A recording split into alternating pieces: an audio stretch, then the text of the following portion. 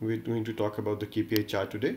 So let's just drag the KPI chart. KPI chart is just like um, gauge chart where we have instead of the dial meters, we have the exact number. So it's uh, modernly it's very used quite because it use, uses less space and it gives you a precise number. So this is one of the modern charts. So let's add sales amount, my favorite one. Let's just add the sales amount. Okay, so we have this one. If you see, we have the option to add a secondary KPI. So let's just add uh, this time. I think we have the cost. So let's just add sum of unit cost multiplied by quantity so that we can have the cost here we go and we have this secondary and let's just switch the places so we can easily switch the place. So now we have 4.8 million as cost and for 6.1 million 1 1 million as sales amount. Let's just name change the names. It's cost. If you want to go into the details of these properties that we have over here you can see my video on the details of the chart properties. I will share the link in the description so, so let's talk about the sales amount and we can see these formattings uh, you have all the options if you see we don't have any KPI over here uh, dimension over here for this particular dashboard uh, measure so yeah that's by default. The KPI we don't have any dimension so these are general properties. By default the title is off so you can turn it on and write whatever you want. Um, for the time being I'm keeping it off. So what we have the option we over here is that here we have the title. So if you are planning to use this title you can turn that off or you can manage it somewhere here as well. So that we have the nice option over here. And we have the option also for the second title. So many a time this uses a lot of space. So rather than showing it over here so you can just add that in title like cost comparison with sales.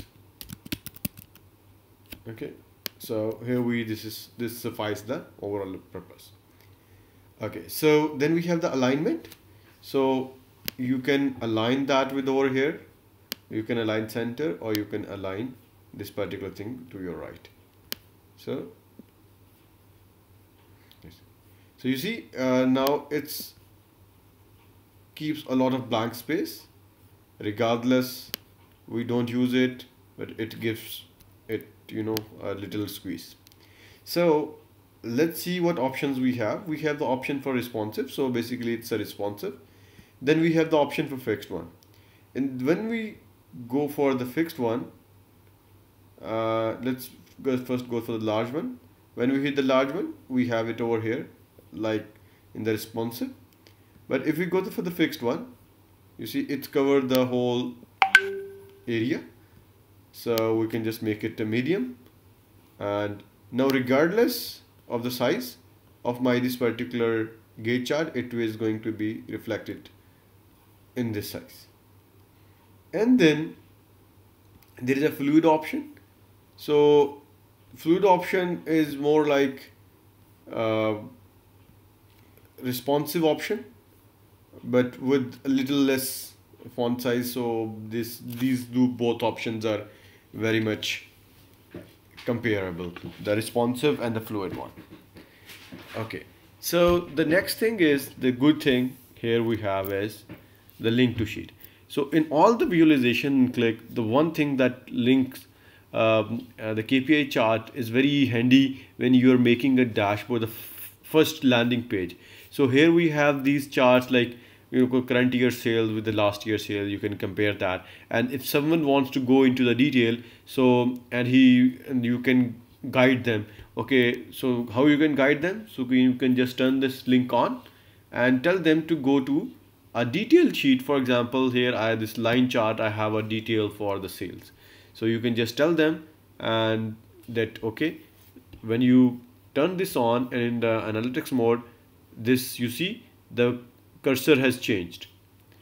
If we haven't turned that on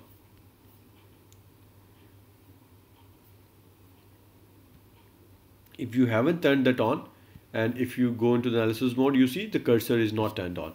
So it automatically tells the user that you have the option to change the values okay. So let's turn that on. It's give us an option to link to a sheet and I have linked it to a sheet. And it tells you that it can open into a new sheet so that the user who is looking at the dashboard he keeps seeing that but he has the option to go somewhere else but you can turn that off so that he knows that it's same dashboard. You don't have want too many sessions open and then we have the option for the colors. So you can have the conditional colorings. So just turn off the library color. So once we turn off the library colors so it has the option for the limit. So it's essentially sets us that okay which first color you want. We can add the limit. Once we add the limit we have the option that we can have a value over here or we can have you know uh, fixed thing. So okay let's just this time around let's just add sales amount. So we want that our sales amount should not be the sales cost should not be the 80 percent more than 80 percent of our uh, sales amount. The cost should not be more than that. And if it is more than that let's it should be in red. And then we add another limit over here and say that this particular limit we're gonna say that if sum of sales amount and we are putting it to the 60 percent if it is 60 percent then it should be yellow okay? So if it is the 60 percent of the sales amount it should be yeah, this is 80 percent. 80 percent above should be red. And lower than that should be yellow. And you see immediately the color has changed. And we can make it gradient. We can make it gradient. And just make sure that whoever property you want to change for the limit just click on this particular dot so that you choose the correct one. And similarly we can change these colors for the second dimension as well. The library colors we turn them off. Uh, basically that relates to the master if you have the defined as the master item. Uh, so these properties are from there. Uh, we will cover that soon as well. So that's it pretty much it from the comparison chart uh, KPI chart uh, which used to compare to KPI thank you very much for watching